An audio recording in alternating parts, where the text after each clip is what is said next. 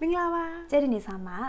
ဆယ်မွန်ပဲကြတဲ့တုပ်ပါအထဲမှာဆယ်မွန်ရယ်ပြီးရင်ပဇွန်ရယ်ခနန်းချောင်းလေးတွေထည့်ထားတယ်အောက်မှာတော့ပဲကြစရာကအတုံးနဲ့တွေ့စားမယ်ဆက်လက်ရွက်ရယ်ပဲဆောင်ကသည်တခွားသည်ပဲသည်ပြင်လာပါတယ်ဒါကတော့အတုပ်ထဲထည့်မဲ့ sauce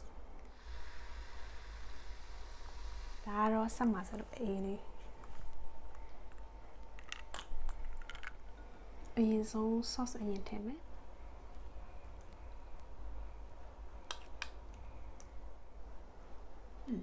မြို့တိဖက်တွေကအများကြီးပဲ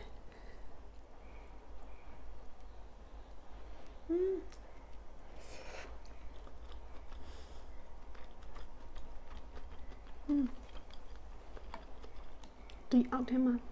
စက်သုံးစိမ့်နေရှိတယ်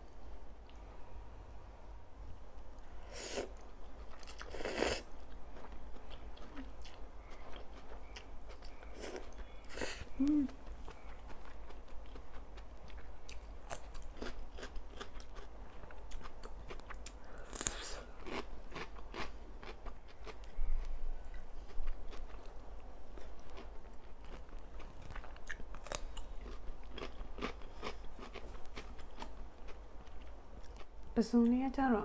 när det kenar. Kenar och då sa de må inne på sådana. Mm.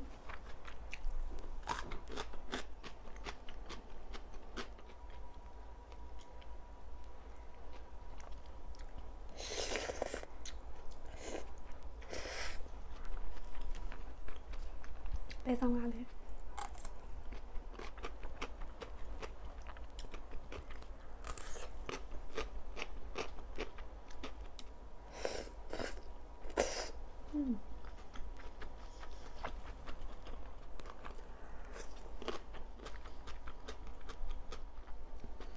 လာတော့တုတ်စားတော့မှုရင်းနေပစုံနဲ့ပဲဆောင်လာတယ်ဆာမွား